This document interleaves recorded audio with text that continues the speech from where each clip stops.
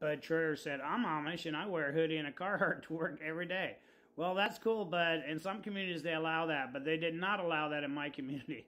Nothing with a zipper. We could not have a zipper. We had a, a t-shirt, a long sleeve t-shirt, and then you had your Amish shirt with the buttons, and then you had a vest that had like a fleece lining, and but it just had the hook and eye, so you know wind could penetrate in between it.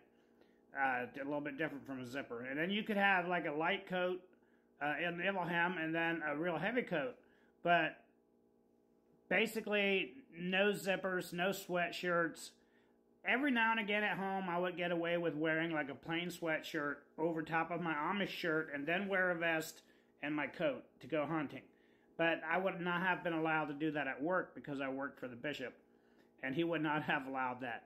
And at work as well, we could not wear stocking caps. At home, I bent the rules and I wore a stocking cap when it got cold. If I wanted to go hunting, I went in a stocking cap because was going to see, you know? And I wasn't that concerned about following that rule when it was really cold.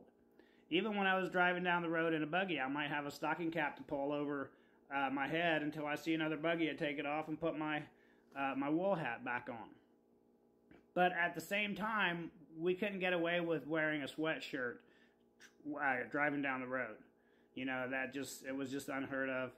Going anywhere public, going out back to hunt, that was about the only time I ever wore a sweatshirt when I was Amish. And we would wear scarves as well when we were driving, but we didn't wear those at work. Now, the coldest I ever remember working, it was about two degrees. And I remember, I remember the, the feeling uh, of how cold it was.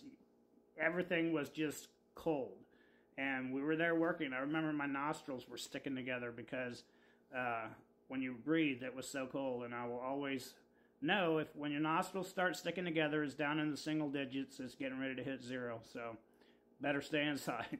you know, that's about the coldest I remember working though when I was Amish.